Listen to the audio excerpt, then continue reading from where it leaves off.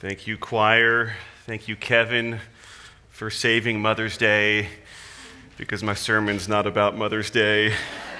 It's a beautiful choir anthem, though. We are talking about the end times. However, when, Je- okay, just, when Jesus goes into this discussion about the end times, you remember what he does? He looks over Jerusalem and, and his spirit is grieved. He says, How often I, I, I long to gather you to myself as, as a mother hen gathers her chicks to herself. And so that image of, of, of Jesus longing to gather us, just as our mom has gathered us here. Maybe you're here this morning because your mom, you know, kind of pressured you. Or, you know, it's Mother's Day, so you got to come to church, okay? She's gathering us, right? That's how God longs to gather us to himself. Draw near to him. And as we draw near to him, we draw near to one another in love and comfort, in, in his protection, in his refuge. So I titled this morning's sermon, Look Up. Look Up. Because that's exactly what many people were doing this weekend after this, the Aurora Borealis showing up here, where people in Fresno could see it pretty incredibly. Um, you know, the sun, you know, shot off some charged particles at us and, you know, messed with the magnetic, fields and, you know, could have disrupted some satellites and power grid if it was bad enough. But, you know, really pretty, really cool. My wife went to go see it with, with you know, my mother in love, you know, as Alistair says, and father in love. And uh, they didn't see it, though. So they didn't see anything last night. But the night before, people really saw some cool things. Um, but it's appropriate. I saw a news article that says, look up, you know, the, the northern lights are in the skies. I'm like, yeah, yeah, look up. Um, our redemption draws nigh. And that is um, actually, you know, as we've been studying, you know, these for the Olivet Discourse is what it's called, where Jesus talks about his disciples asking, What are the signs of this? The, the destruction of the temple. Um, and they ask, What's the signs of your coming again um, and the end of this world? Um, and we've been in this discussion, Matthew chapter 24, as we've been studying Matthew's gospel account for a couple weeks now. And so, you know, I'm reading the end times into everything now, obviously. Probably you are too. Uh, you'll forgive me. But Luke, in Luke's parallel account, chapter 21, we read, There will be signs in the sun, moon, and stars. On the earth, nations will be in anguish and perplexity at the roaring and tossing of the sea. People will faint from terror, um, apprehensive of what is coming on the world. For the heavenly bodies will be shaken. At that time, they will see the Son of Man coming in a cloud with, the, with power and great glory. When these things begin to take place, stand up and lift up your heads Look up, as some translations say, because your redemption is drawing near, it's drawing nigh. He's at the gate. Um, and so that is our, that's our perspective uh, this morning, that we are always ready uh, for the imminent return of Christ. We're, we're looking, we're watching, we're waiting. And so as we finish up Matthew chapter 24 this morning, we are, we are told by our Lord to not become a people, you know, who, who kind of look to, to goof off because the master is long in his, in his return. Uh, you know, people who seek to, you know, see how far we can go without crossing the line, you know, tiptoe to it, you know, and, and say, well, this is okay, right? We can, you know, maybe uh, try a little bit more and, and, just get a little more lax in our faith and our walk with Him and, you know, and, and just backslide, right? And so Jesus warns against this. He's like, don't become like that when the master is delayed. Because when he comes and he finds you unfaithful like that, it's not going to be good, as we'll see uh, this morning. And so the calling for us is to, is to be ready, is to be watching, is to be mindful that our master, he is coming again to claim what's rightfully his. So let's open up to Matthew chapter 24, and we're beginning in verse 32, and we're going all the way to the end of the chapter, verse 51, uh, this morning. So I encourage you to open up there with, with me in your Bibles. We'll have it up on the screen as well. Um, so, Jesus, again, he's just been sharing about the signs of the end and of his second coming. He shared in verses 29 to 31, just before this passage, we're looking at how immediately after the tribulation of those days, he is coming, and, and no one will miss it. The whole world will see it. So, don't follow people when they say, oh, here's the Christ, he's in the forest, you know, come, he's in this back room. It's like, no, you'll know when he comes again. It won't be a secret. Okay, beginning in verse 32, Jesus continues and he says, From the fig tree, learn its lesson. As soon as its branch becomes tender and puts out its leaves, you know that summer is near. so also when you see all these things, you know that he is near at the very gates. Truly I say to you, this generation will not pass away until all these things take place. Heaven and earth will pass away, but my words will not pass away. So we are told that heaven and earth will burn. They, they will burn, they'll, they'll pass away, they'll be made new. But even so, Jesus says his words will not pass away. So pay attention to the weight of his eternal word. His eternal word that never passes away. As he is the word incarnate, the one who for him and, and, through him and to him are all things. By him, the word of God, creation was spoke into existence. Jesus here uses the fig tree as an analogy for watching for the times, watching for the seasons of things. Uh, so when you see these times coming into fruition, uh, when you see everything he just spoke of earlier, uh, namely the abomination of desolation, as we discussed last week, then he is at the very gates. And the ge- generation who sees all these things will see him return. And, and I should mention again this morning, you know, I've said this the past couple weeks, there are many different views on the end times. Very serious Christians uh, and theologians who study the Bible don't, dis, don't, don't agree with me on, on some of this stuff. They will say that when all these things, when you see all these things, um, this generation will not pass away. They would say that was fulfilled in 70 AD. And so there are many Christians who believe that. Um, and so I, I don't subscribe to, to that thought, and that's, that's fine. We can agree to disagree on those things and, and still be brothers and sisters, and we're all still have the same calling to go into all the world, share the good news of Jesus, and we're looking for a second coming. Um, and so just know that there is a lot of different opinions about the end times, and it's not something that, you know, we're going to be at each other's throats about. Uh, but I'm going to share um, kind of how I, my best interpretation of these things. And so I would say that Jesus is speaking of a future generation, a future generation. Uh, that will see all these things, including the abomination of desolation, a final and full fulfillment. There's a fulfillment in 70 AD for sure of the destruction of the temple, but, but I believe there's going to be a final and full one. Just as, you know, Mount Whitney is still off in the distance. You know, see the mountains in front of it, but it's still back there, a final and full fulfillment, like we talked about a couple weeks ago, that, that prophetic kind of perspective. Um, okay, so with that said, Jesus uses a fig tree as an analogy here. And the fig tree is a very common tree in Israel. Remember, he just he cursed a fig tree earlier uh, in Matthew, and it, and it died because it didn't have fruit.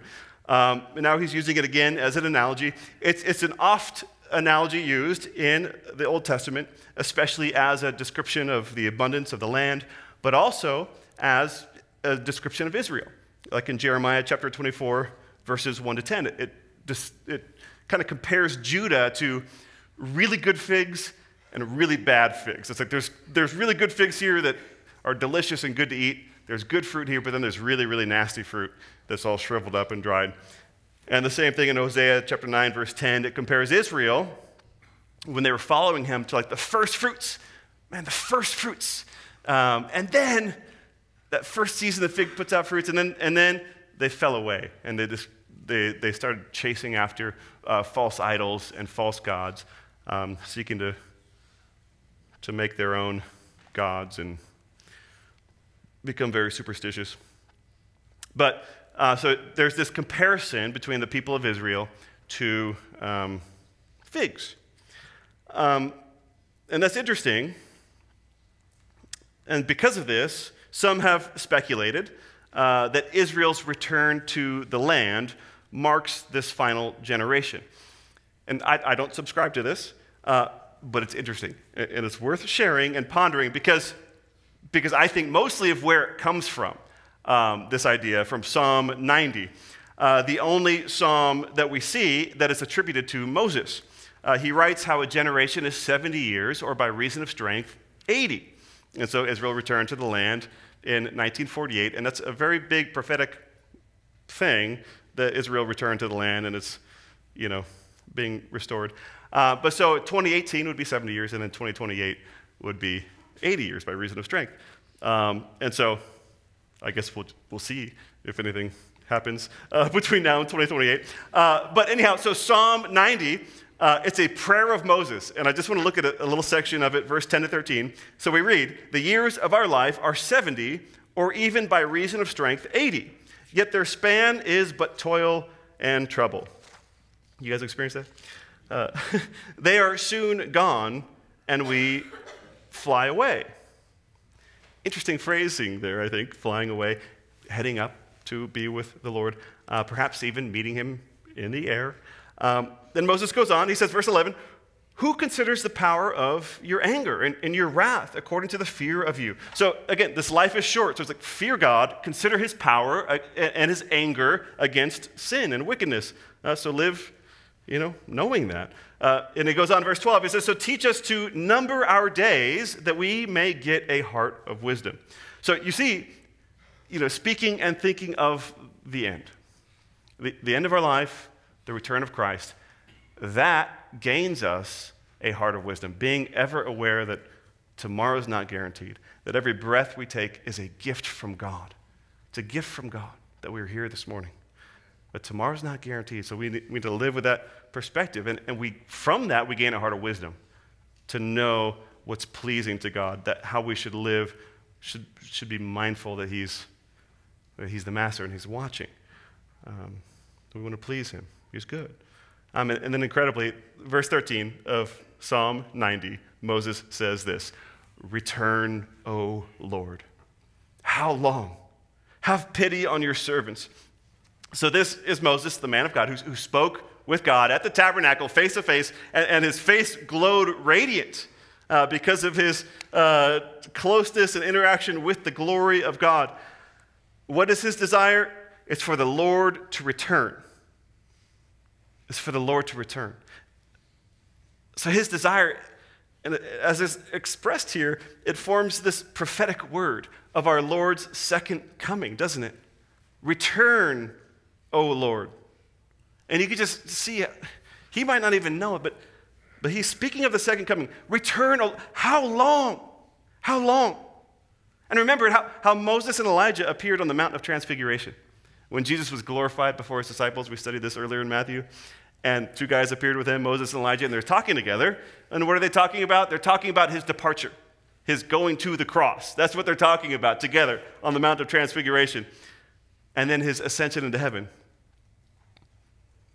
Okay, but, but there's going to be return again, isn't there? So Moses here says, Return, O Lord, to us. How long? How long must we wait? Have pity on us. Return, O Lord. Isn't Psalm 90 cool? Moses, who so knows God, who so loves God, return, O Lord. Return, Lord Jesus. And the fig tree generation being Israel, I mean, it's an interesting theory. However, we have not seen all these things that Jesus speaks of take place, namely the abomination of, of desolation, that, as we discussed last week, would serve as the true timepiece to the end of the world. Um, and it will trigger world ending destructions and devastations that, if not cut short, Jesus says nobody would survive. So there will arise catastrophes and persecutions, uh, but those in and of themselves, we, we read, as Jesus said, they're not the sign of the end. The end is a, a while off. These are the birth pains. Um, and the pivotal sign is that abomination of desolation being set up in the holy place. And when you see that, he warns the people who are in the region to flee. Um, and just as Daniel prophesied in Daniel chapter 12, verse 11, uh, the end will come after 1290 days, uh, after the abomination of desolation's allotted time. We don't know the exact day or hour, but Daniel 12 12 says, Blessed is he who waits and comes to the uh, 1,335th days.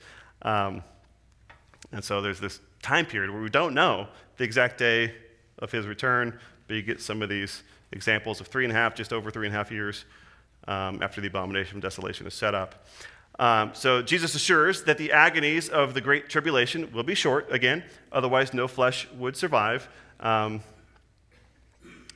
because on the heels of the abomination of desolation, uh, there come great tribulation and cosmic disturbances. As we read about in Revelation, the bowls of God's wrath are poured out. And in culmination, Jesus will return in glory to the earth. So Jesus here is using the fig tree as this representation of times and seasons uh, to pay attention, to look at all the signs, And then you will recognize it just as easily as you would recognize a tree uh, putting forth its leaves. You're like, okay, summer's near because the trees are putting forth their leaves. That's how easy it will be to recognize for the person who's paying attention. It won't be speculative. You'll know. You'll know. There's lots of interesting theories along with that fig tree generation, you know, in Israel uh, that I could share that I've heard, and it's like, oh, that's interesting. But they all have little gaps. You know, they're not quite right. They're all trying to fit, a, you know, a square peg into into a round hole. it's like, okay, you're trying to force this thing. It really doesn't fit. And so we don't want to do that. We don't want to try to force things that don't quite fit. You, you let it be what it's going to be. And you look for the signs. When they happen, you'll know. You'll know he's right at the door, at the very gates. Uh, so the bridegroom is so, so near to claim his bride. And he wants us to know that. So this generation Jesus speaks of, you know, I, I don't, again, I don't think it could be the generation of the 12 that he's speaking to. There's that partial fulfillment, but there's a full one that I believe will be coming. Um, maybe I'm wrong. Um, so this is we're still looking for these signs of his coming while we were about his mission to go to the ends of the, of the earth, proclaiming the gospel, the good news. Um, and then the end will come. Moving on, uh, verse 36, Jesus continues, but concerning that day and hour, no one knows, not even the angels of heaven, nor the Son, but the Father only. Okay, so, so Jesus, like, just so we're clear, no one knows the day or the hour, only the Father. Only the Father. Don't be taken in by these false predictions, these false timetables that people are coming. They're like, I know, I've calculated, I know the day and the hour when He's coming again. Like I told you a few weeks ago, somebody came to the church office and was like, I know this is it. You guys need to, you know, tell people this. I'm like, uh, what? So, okay. And, you know, that date, of course, passed. It came and it went. Uh, so this, we need to watch for all the signs. Verse 37 For as were the days of Noah, Jesus goes on, so will be the coming of the Son of Man. For as in those days before the flood, they were eating and drinking, and marrying and giving in marriage, until the day when Noah entered the ark. And they were unaware until the flood came and swept them all away. So will be the coming of the Son of Man. The days of Noah Okay, the days before the destruction of the entire world. What happened? There was only one righteous family left on the earth. You know, Enoch, we know he was already taken up to be with the Lord, and everyone else on earth was wholly given over to violence and sin, and there was demonic oppression and activity happening, and all flesh was, was corrupted. So God called the animals and the people who were left uncorrupted to what? to spare them from the wrath of God poured out on all flesh. This is a worldwide catastrophe, divine judgment, and wrath poured out. Jesus compares the end times to the days of Noah. And this statement of Jesus is another reason that leads me to, to think uh, that there will be a, a pre or mid tribulation uh, rapture or catching away of the saints to meet Christ in the air, as Paul speaks of, uh, where the true church is delivered from the divine judgment of God on the earth. For in Christ our sins have been blotted out before the Father. So, yes, will we face persecutions um, on, on this earth? Absolutely. From the powers of this world, we will face tri- trials, tribulations, persecutions, and we must endure. That's their calling is to endure these things. And as we discussed, these things are increasing um, around the world uh, in various places, especially sub Saharan Africa. Uh, there is some in, intense, intense persecution against Christians. The calling is to endure. We must pray for them as well. Um, but I believe that when the bowls of God's wrath, his divine judgment, are about to be poured out, we will be spared from that. Just as he spared Moses from the flood uh, his divine judgment on, on the whole earth. As Jesus promised the church in, in Philadelphia in, in Revelation chapter 3, verses 10 to 11, Jesus says, Because you have kept my word about patient endurance, I will keep you from the hour of trial that is coming on the whole world. To try those who dwell on the earth, I'm coming soon. Hold fast what you have, so that no one may seize your crown. With patient endurance, we will be kept from the trial, the hour of the trial uh, that is coming upon who? The whole world. And as these trials are unfolding, Jesus explains how in the days of Noah, before the destruction of the world, while, while Noah was, uh, you know, he was proclaiming that what, by what he was doing and saying that the end is at hand. And people kept living as if nothing would ever change. And in their wickedness, they in fact believed that nothing needed to change. So they just kept on. They kept on eating and drinking, marrying and giving in marriage, meaning no fasting, no prayer, no repentance, no abstention, no getting right before Almighty God, just doing as they pleased, ignoring all the signs, ignoring the prophet of God and mocking him as he built the ark. And then suddenly, judgment came on the whole earth. They will be swept away, as he says. Verse 40 Then two men will be in the field, one will be taken and one left. Two women will be grinding at the mill, and one will be taken and one left. Therefore, stay awake, for you do not know on what day your Lord is coming. But know this that if the master of the house had known in what part of the night the thief was coming, he would have stayed awake and would not have let his house be broken into. Therefore, you also must be ready, for the Son of Man is coming at an hour you do not expect. So be ready. Be ready for his coming. Two men in the field, one is taken, one left. Two women at the mill, one is taken, one left. In the end, there is going to be a dividing that takes place. It doesn't happen, you know, in groups or families, coworkers, or friends, but it's, it's a dividing on an individual basis. Two are, are together, and then one's taken and one's left. On an individual basis. Some commentators assert uh, this, this taking is a taking in judgment and not a reference to the rapture as described in 1 Thessalonians. Uh, others disagree with this, uh, seeing this taken, taking as a, as a definite example of the rapture um, or catching away. Um, it's interesting to note, uh, you know, he, hearing this, you know, Pastor Joe and I were talking about this, like, what is, what is it? I've heard, always thought this was the, the rapture. What is this? And so I was looking into this uh, this week. You know, is this talking about taking a judgment or a taking to be with the Lord? Um, and so, you know, we just read about Jesus describing the flood, and those who are unaware are taken away. Um, the ESV translated as swept away. And this Greek word here that Jesus uses um, means forcefully taken. Um, it, it's taken, meaning, meaning cut off or, or swept away in the, in the judgment of the flood. But Jesus, he actually uses a different word uh, to describe what happens when two workers are working in the field or at the mill. Um, and, and this word is, is very much different. And it's interesting. It's uh, paralambano.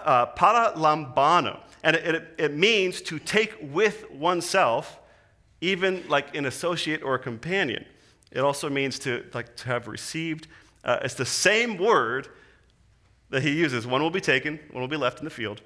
Uh, one will be taken, one will be left in the mill. That word taken is the same word he uses in John 14, 3, when he says, And if I go and prepare a place for you, I will come again and will take paralambano you to myself, that where I am, you may be also.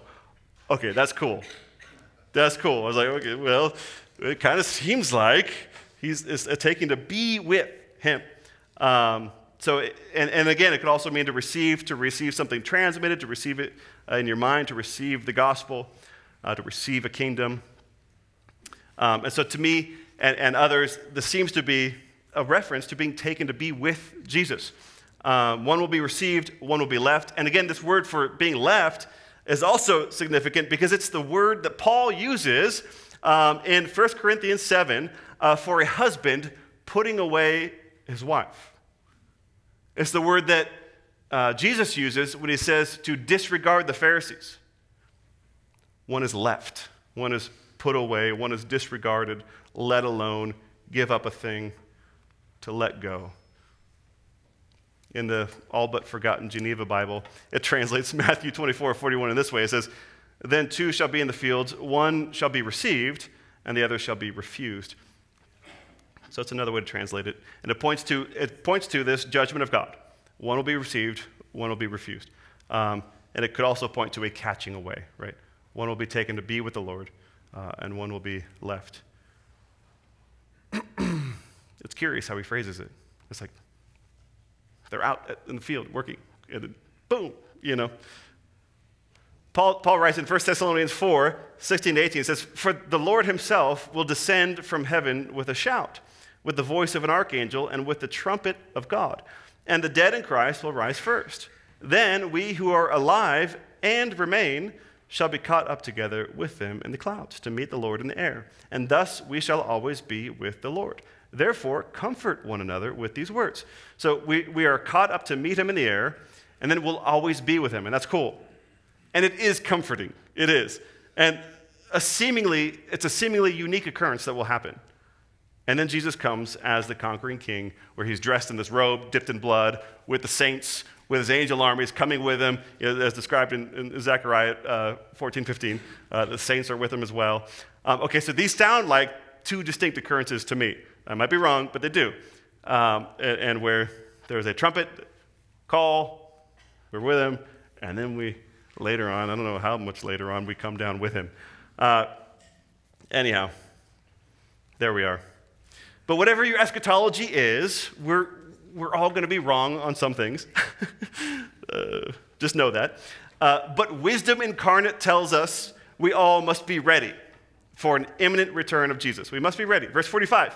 He goes on. He says, Who then is the faithful and wise servant whom his master has set over his household to give them their food at the proper time? Blessed is that servant whom his master will find so doing when he returns or when he comes.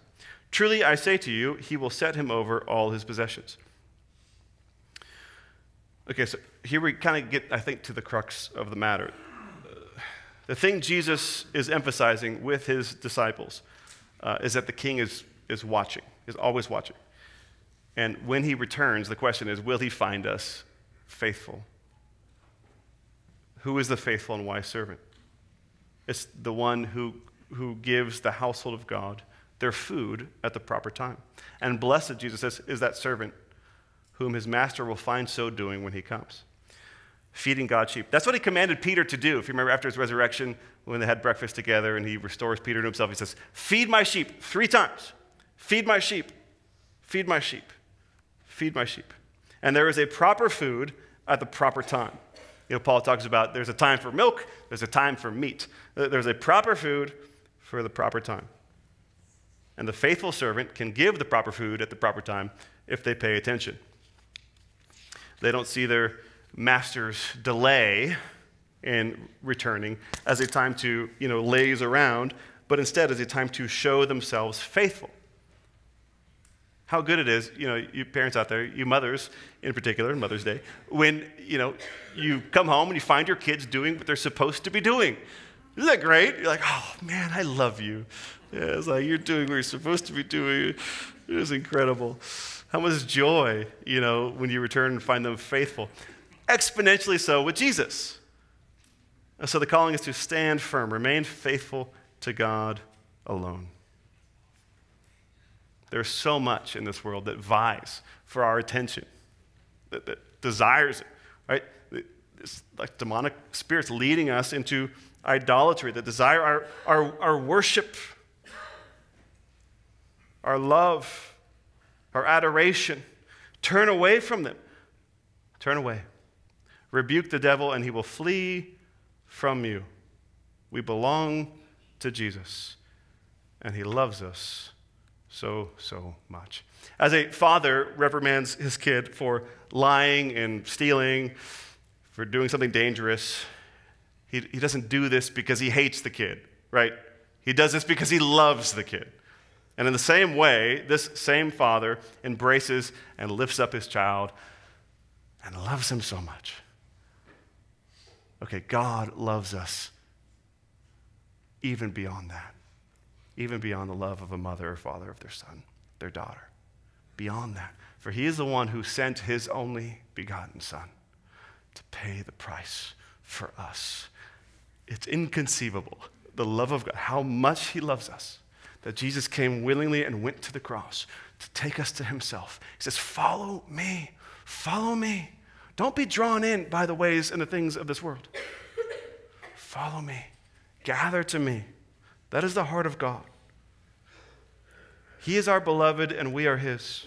We are so, so special and precious to God. Know that. You perhaps don't know that this morning, and you're here and you feel like you're far from God. Know that He is at the door. He is at the door. And if you would but open and let Him in, He is so, so near to you. And perhaps you're here and you've known that and you've found interest in other things.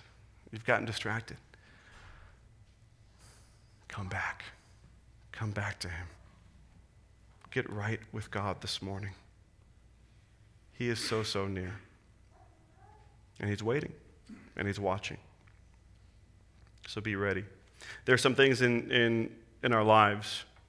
Perhaps it's stubbornness of heart. Perhaps it's lying to ourselves, lying to others.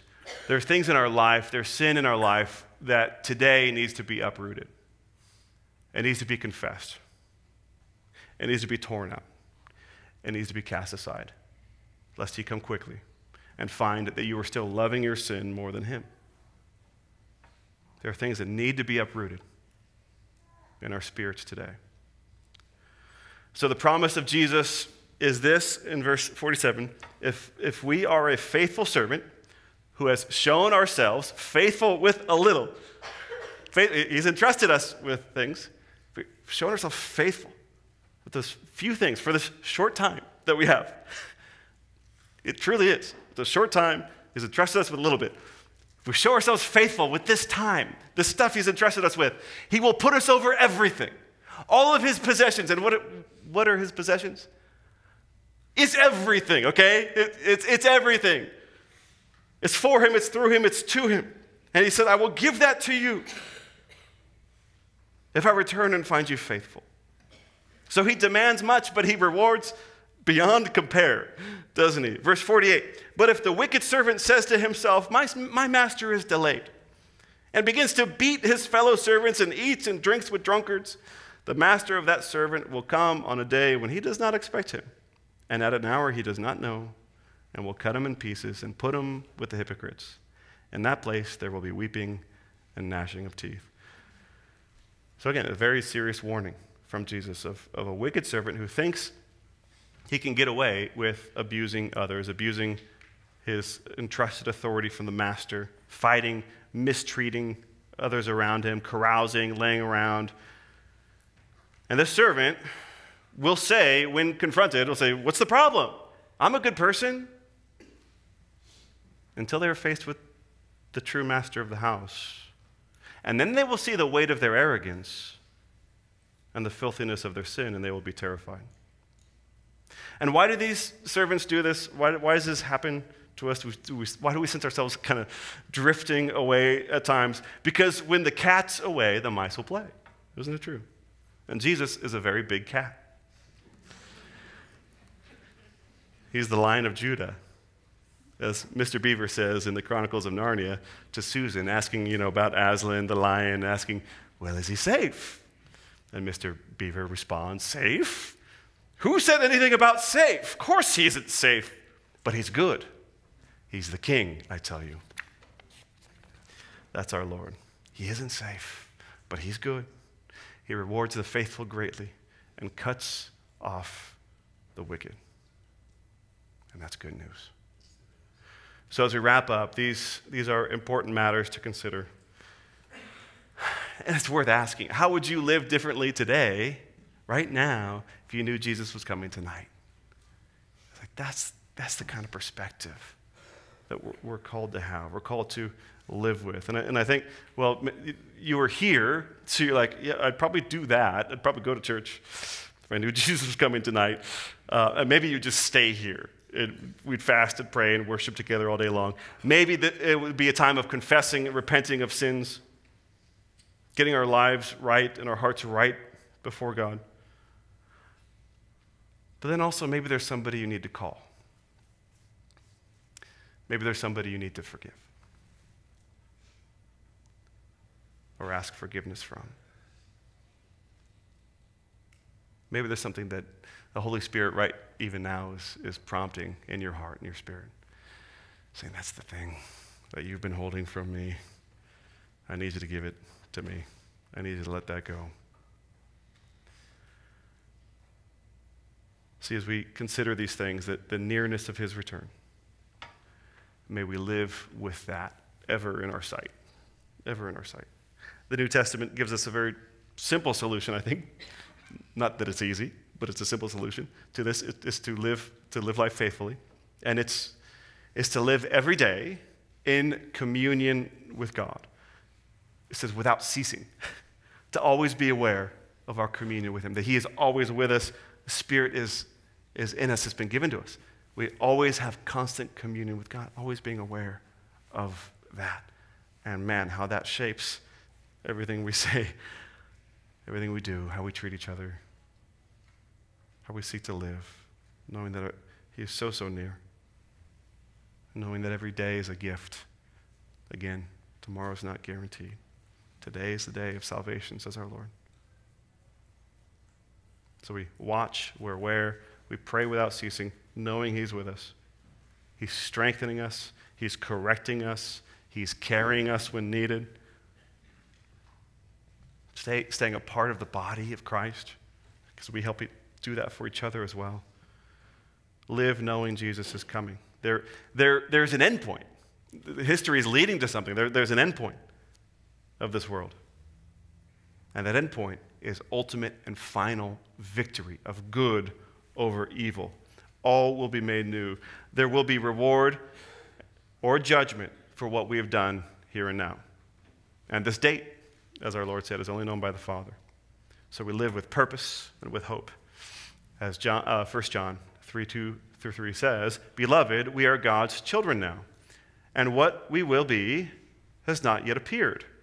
But we know that when he appears, we shall be like him, because we shall see him as he is. And everyone who has thus hope, and everyone who thus hopes in him purifies himself as he is pure. So may, we thus hope in him, who, who purifies us by his blood, who tells the enemy of our souls to be silent when he accuses us of our guilt and of our shame. Our Lord the Lamb of God, declares over you that you are His. You're His. You belong to Him. You belong to Him. He's purchased you. And He tells the accuser, the enemy of our, enemy of our souls, to be silent. And his mouth is shut. And he cannot utter a word in the presence of the Lamb of God. So may we be found taking refuge in Jesus today, being found a faithful servant, ready to embrace our Lord when he returns. Amen? Let's pray. Father, we thank you for your love. We thank you that you have told us the plans that you have, that you have a plan. Lord Jesus, you're preparing a place for us that we may be with you for all time. For you so love us. You so love us. May we be mindful of that. May we abide in you always, being attached to the vine that gives us life, that gives us purpose. That as we're attached to you, Lord Jesus, our true vine, we produce good fruit. The fruits of the Spirit are evident in our life. Lord, may we be a people who produce good fruit, good figs that come from us. And it's a testament to you at work in us. Help us to be ready, watching, mindful of how near you are. At any moment, you can come, or any moment we may go to be with you. Thank you for the hope that we have. That in that hope, to live as Christ, to die as gain that we hope and we long to be with you, but as you tarry, we live for you. Thank you for helping us do that. It's in Jesus' name we pray. Amen. And you can stay seated. You all started standing up at the end.